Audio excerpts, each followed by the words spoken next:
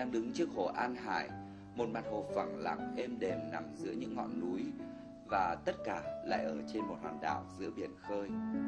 Cho đến nay, người ta cũng chưa biết chính xác con người đặt chân đến hòn đảo này vào lúc nào.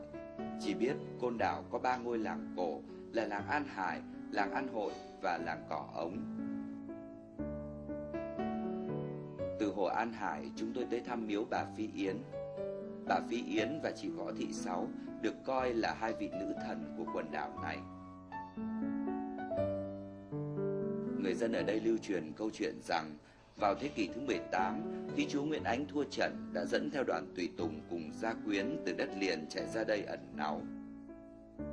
Ông mang theo một thứ phi rất đẹp tên là Hoàng Phi Yến, nhưng vì bà dám đưa ra lời khuyên nhủ chúa không nên bắt tay với thực dân Pháp, nên Thứ Phi đã bị Nguyễn Ánh giam cầm tại một hòn đảo nhỏ, nơi đó giờ gọi là Hòn Bà.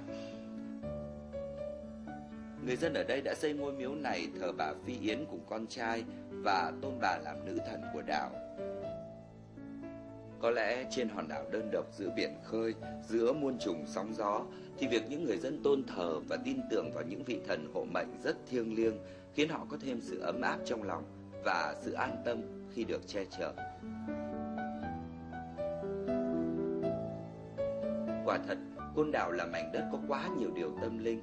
Một hòn đảo mà mới đầu tôi nghĩ là nhỏ bé và sẽ rất giản đơn. Nhưng hóa ra Côn Đảo là miền đất tuy không lớn, nhưng cũng như các miền đất khác, Côn Đảo chứa trong mình bao điều sâu kín mà với một thời gian ngắn tôi chưa thể khám phá hết được. Chỉ có điều, tôi đã thấy được biển trời Côn Đảo và khung cảnh thiên nhiên nơi đây thật đẹp. Tôi ra đảo vào những ngày có mưa lớn nên sóng biển cuộn lên mạnh mẽ, khiến Côn Đảo càng mang vẻ đẹp hoang dã, nguyên sơ.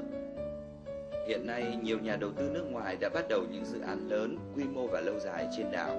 Nhiều người đã phát hiện ra tiềm năng du lịch trên hòn đảo mang hình chú gấu này.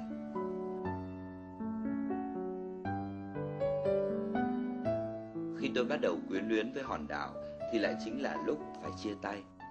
Tôi sẽ nhớ những hàng bảng cổ thụ của côn đảo mang bao kỷ niệm. Những bức tường phố cổ rêu phong nhuộm ký ức thời gian. Tôi sẽ nhớ con đường ven biển, nhớ đời sống người dân côn đảo mộc mạc mà rất đỗi chân tình. Tôi sẽ ghi trong ký ức của mình hình ảnh một thị trấn côn đảo trẻ trung đang đón một ngày mới.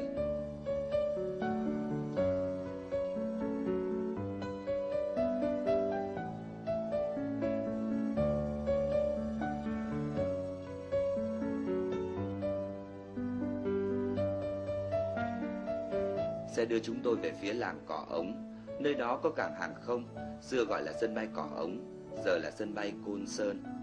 Tôi biết chắc rằng chỉ ít năm nữa thôi, với tiềm năng của mình, Côn Đảo sẽ trở thành một nơi du lịch phát triển và đẹp nổi tiếng.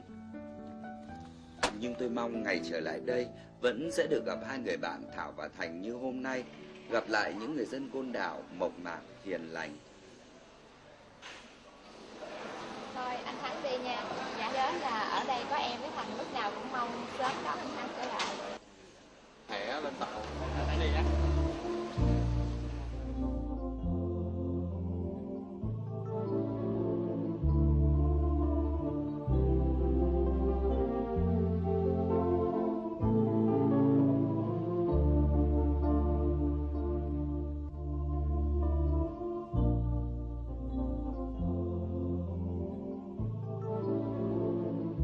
Tôi là người đã được đi rất nhiều Nhưng tình cảm như lúc này không phải lúc nào cũng có được.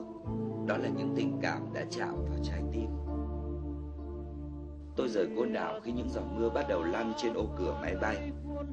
Tạm biệt côn đảo, hòn đảo đau thương. Hòn đảo từng được coi là địa ngục trần gian. Nhưng tất cả đã lùi về quá vãng. Để ngày hôm nay côn đảo đang hòa mình vào làn nước trong xanh của biển cả Để vẫy gọi mọi người đến đây Nhìn về quá khứ, hiện tại và tương lai.